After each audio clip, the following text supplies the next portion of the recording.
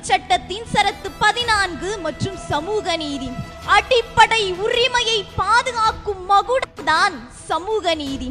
இந்தியர்களின் தாரக மந்திரம் வேற்றுமையில் ஒற்றுமை. ஆனால் வேற்றுமையில் ஒற்றுமை என்பது வெறும் வாசகம். ஒற்றுமையில் வேற்றுமை என்பதே நிதர்சனம். ஆம் நம் நாடு நாம் இந்தியர் என்று சொல்ல ஒற்றுமை பாராட்டும் மக்கள்.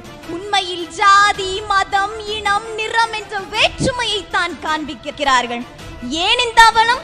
இந்த அவலம் ஏற்பட என்ன காரணம்? இந்த அவலம் மாற என்ன வழி? சிந்தித்தார்கள் விடையும் கண்டார்கள். அதில் விளைந்ததே சமூக நீதி என்ற பயிர். இருபதாம் நூற்றாண்டில் சமூக நீதிக்காக சமரசமற்ற போர் தொடுத்தவர் தந்தை பெரியார். சமூக நீதி என்பது வெறும் ஜாதி அடிப்படையிலானது அல்ல.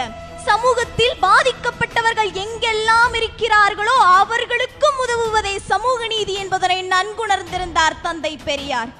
எங்கெல்லாம் சமூக நீதி மறுக்கப்படுகிறதோ அங்கே ஜனநாயகம் மெலிந்து ஊழல் மலிந்து காணப்படும் என்பதனை உணர்ந்தார்கள்.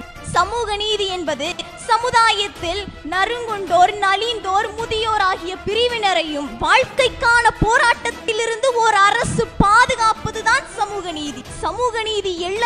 எள்ளளவு இல்லாத சமுதாயம் எவ்வாறு இருந்தது தெரியுமா? அதில் அள்ளல் பட்டவர்கள் யார் தெரியுமா? ஆயிரத்தி எண்ணூற்றி தொண்ணூத்தி மூன்று தென்னாப்பிரிக்காவின் தொடர்வண்டி பெட்டியிலிருந்து தூக்கி எறியப்பட்ட சட்டக்கல்லூரி மாணவன். காரணம் நிறவேற்றுமை. சமமற்ற நிலைகளை உணர்ந்தார். அகிம்சாவை ஆயுதமாக்கி சமூக நீதிக்காகவும் விடுதலைக்காகவும் போராடினார். மகாத்மா ஆனார். மழலை பருவம். கல்வி கற்க ஆர்வம். முதல் நாள் பள்ளிக்கு செல்கிறார். தன் ஆசிரியராலேயே ஜாதியின் பெயரால் ஒதுக்கப்படுகிறார் அந்த மகாராஷ்டிரா மாணவன். சமூக நீதிக்கான அவசியத்தை உணர்கிறார்.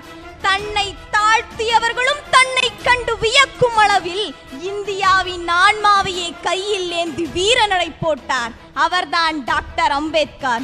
இவ்வாறு சமூக நீதியற்ற சூழ்நிலைகளால் உடைக்கப்பட்டவர்களால் கொடையளிக்கப்பட்டதே. இன்று நீங்களும் நானும் சுவாசிக்கும் சுதந்திர காட்சி என்பதை மறவாதீங்கள். எல்லோரும் ஓர் நிறை எல்லோரும் ஓர் விளை எல்லோரும் மின்னாட்டு மன்னர்களாம் நாம் எல்லோரும் மின்னாட்டு மன்னர்கள் என்ற பாரதியின் கவிதையும் பெரியாரின் தீரா ஆசையுமே சமூக நீதி. ஆண் பெண் ஏழை பணக்காரன் உயர்ந்தவன் தாழ்ந்தவன் என்ற எந்தவித பாகுபாடுமன்றி மனிதன் என்ற சமத்துவம் தான் சட்டம் சொல்லும் சமத்துவம். அதற்கான ராஜபாதையே சமூக நீதி.